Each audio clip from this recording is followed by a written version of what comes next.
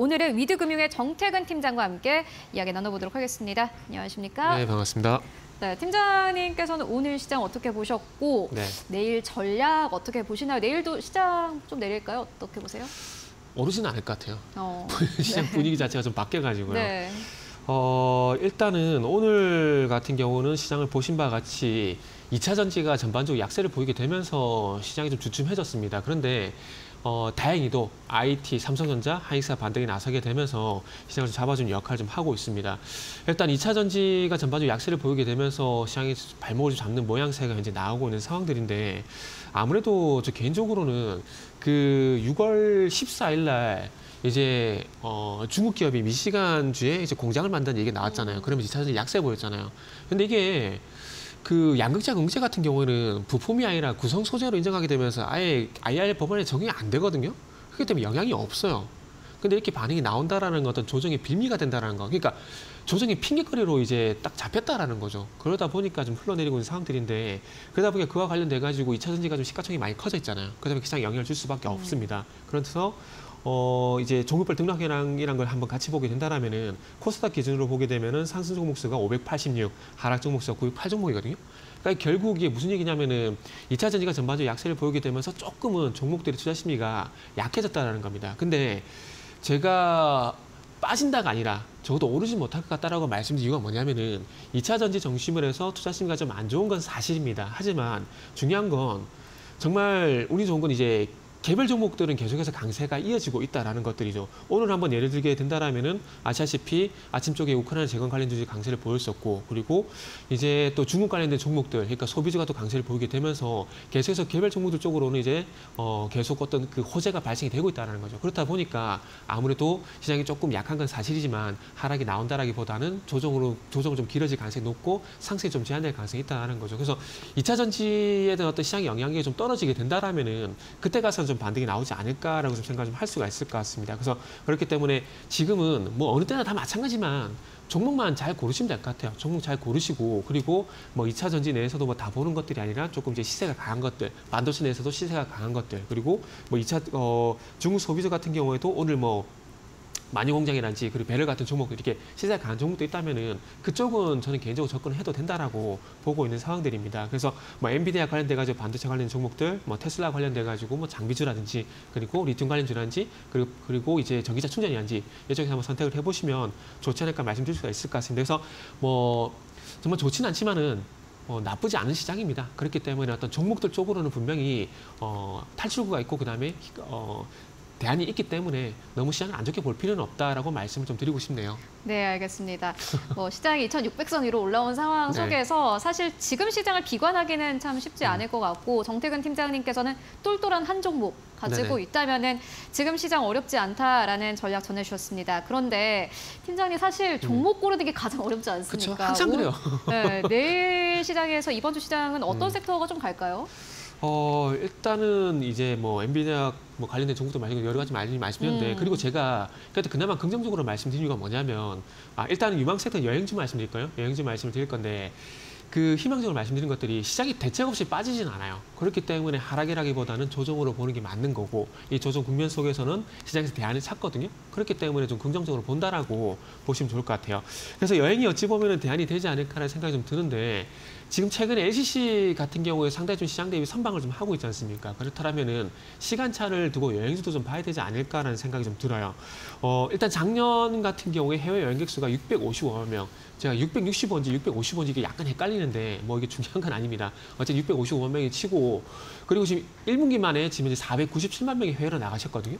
그러면 2분기 이제 6월 달 이제 일본 쪽만 하다도 예약률이 한 90%가 넘어가는 상황이기 때문에 아마 2분기 만에 제가 봤을 땐 천만 명이 넘어가지 않을까라는 생각이 들거든요. 그러면은 해외 쪽으로 여행을 많이 나가게 된다면 다음은 항공주만 좋을까요? 아닙니다. 여행주도 분명히 좋을 거라는 거죠. 그런데 지금은 시장에서 LCC만 좀 주목을 하다 보니까 여행주가 부각이 안 되고 있는데 모두투어 같은 경우는 뭐 지난주 금요 어, 어제부터 반응이 나오고 있는 상황입니다. 그렇기 때문에 이 분기가 여행주로 연결될 가능성이 높기 때문에 한번 보시면 좋지 않을까라는 말씀을 드릴 수가 있을 것 같아요. 그리고 어, 해외 패키지 송출객 같은 경우도 1분기에 큰 폭으로 좀 증가가 되는데 2분기도 여전히 해외로 나가신 분들이 상당히 많은 상황입니다. 그렇기 때문에 뭐 해외 패키지 송출객 같은 경우는 1분기에서 2분기도 늘어났을 가능성이 상당히 높다. 그렇게 본다 본다라면은 아마 1분기뿐만 아니라 2분기 실적도 좋지 않을까라고 좀 말씀드릴 수가 있거든요. 그렇기 때문에 LCC만 볼 것이 아니라 LCC에 이어서 뭐 이제 여행도 보시고요. 그리고 이제 오늘 보니까 카- 아침 쪽에 카지노하고 면세점도 강세를 좀 보였거든요. 이게 그 해외 쪽에 이제 외국인들을 대상으로 조사를 했는데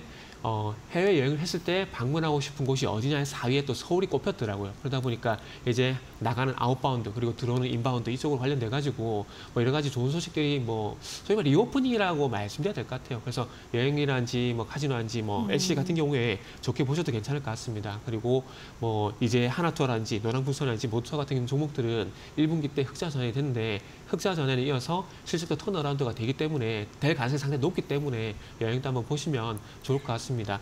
어, 그리고 top pick은 일단 모두투어 이렇게 말씀드리고 마녀 공장이란지 그 번외로 마녀 공장이란지 배럴이란지 이런 것도 한번 같이 보시면 좋지 않을까라고 말씀드릴 수 있을 것 같아요. 마녀공장 일본 쪽 아닌가? 일본 매출이 좀 크게 잡히는 곳이라서 네. 사실 혹시 쓰세요? 어, 저는 뭐 한번 써보긴 했는데 네. 갑자기 그런 질문을 하시네요.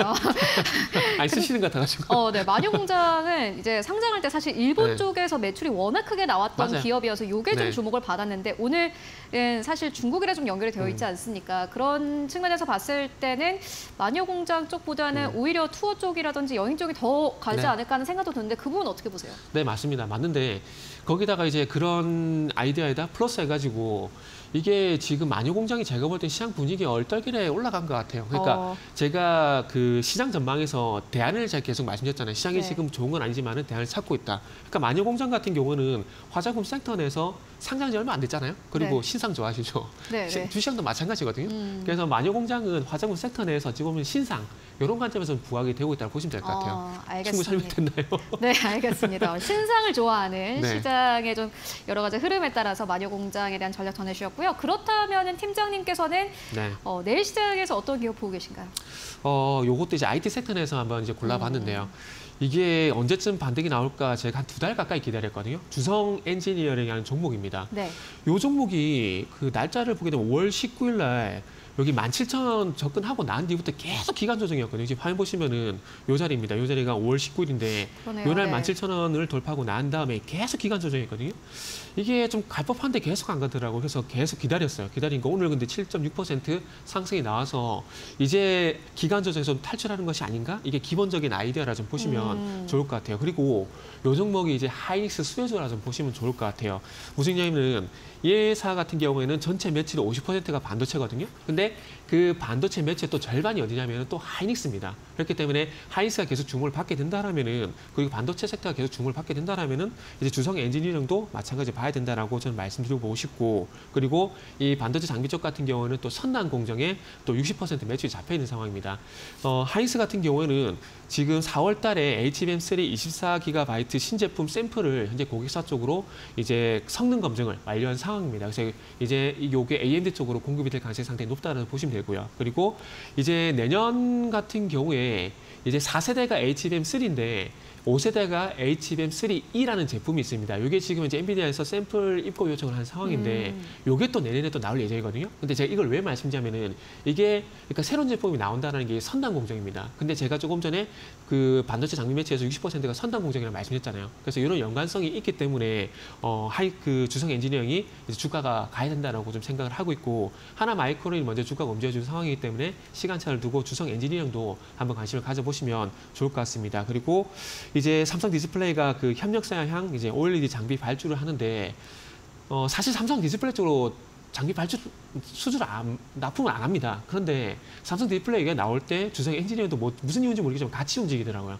그래서 그런 부분들을 보게 된다면은 뭐 이래저래 뭐 만한 이유가 계속 나오고 있다는 것들이 일단은 뭐 접근 이유라고 보시면 좋을 것 같습니다. 그래서 마지막으로 뭐 가격 전략을 좀 말씀드리면 어, 매수가 같은 경우는 17,500원에서 18,500원, 종가가 18,590원인데 일단은 보통 종가가 고가로 끝나는 경우는 다음날 하락 출발하는 경우가 많습니다. 그렇기 때문에 18,500원 이하 준다고 좀 보시고요. 목표가는 23,000원, 손절가는 17,000원 말씀드리도록 하겠습니다. 네, 알겠습니다. 지금까지 정태근 팀장과 함께 이야기 나눠봤습니다. 오늘도 고맙습니다. 감사합니다.